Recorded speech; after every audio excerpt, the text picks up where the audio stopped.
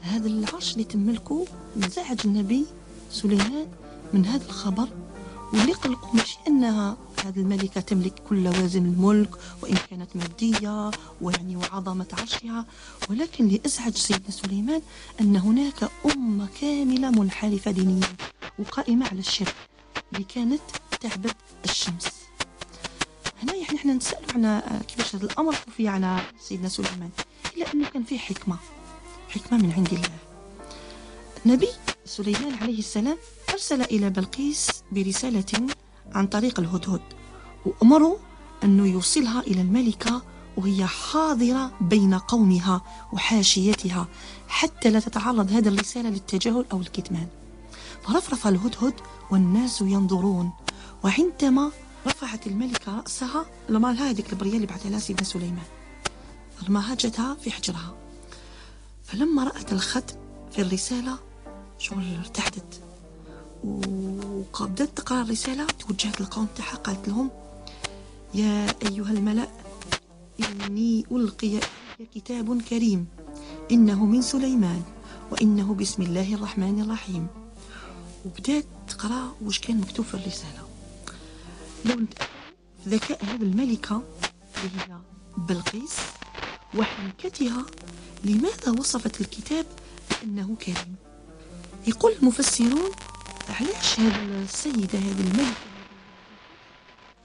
آه، وصفت الكتاب بأنه كريم لأنه كان عميق المضمون كان حازم وكان وكأنه يأمرها كانت يعني بطريقة إعجازية غير مألوفة لها هي كملكة وعظمة عرشها عمرها وإلى تلاقات يعني برسالة من أي ملك من الملوك مكتوبة بهذا الإعجاز وبهذه الطريقة يعني اللي فيها قوة تاع المرسل ديالها.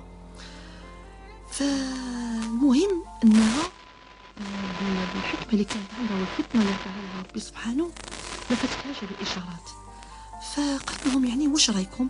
وش نديروا مع هذا الملك؟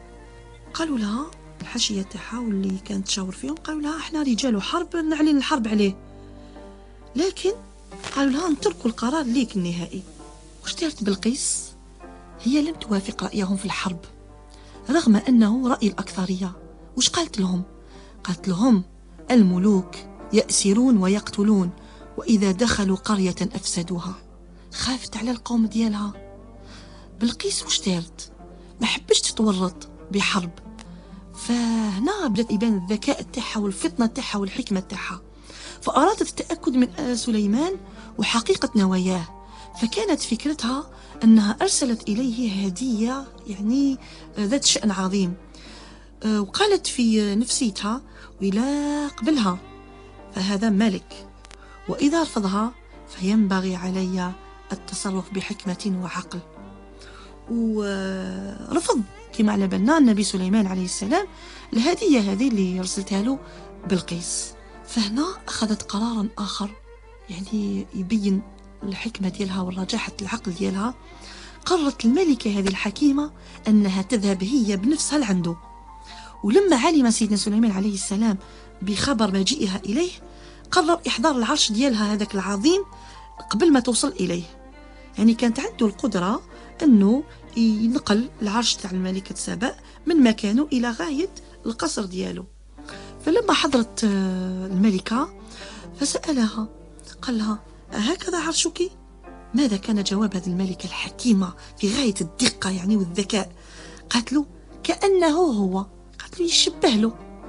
إيه ما حبتش تقول إيه هو بالذات. آه يعني كانت آه مترددة. ويعني خلال يعني مشهد إحضار العرش ويعني شافت باللي صح تأكدت أنه هذا العرش ديالها هذا الكرسي ديالها هذو الصور ديالها هذو الجناين ديالها هذو الخدامين ديالها هذو الناس اللي كانوا في القصر هما هما. فهنايا اعترفت بأنها ظلمت نفسها وأعلنت إسلامها وقالت ربي إني ظلمت نفسي وأسلمت مع سليمان لله رب العالمين. يعني سبحان الله هذه السيدة اللي كانت عابدة للشمس انتقلت من الشرك إلى التوحيد. واش اللي خلاها؟ وش هو الجوهر اللي كان فيها وخلتها تنقل أمتها كامل يعني قومها كامل من عبادة الشمس إلى عقيدة التوحيد.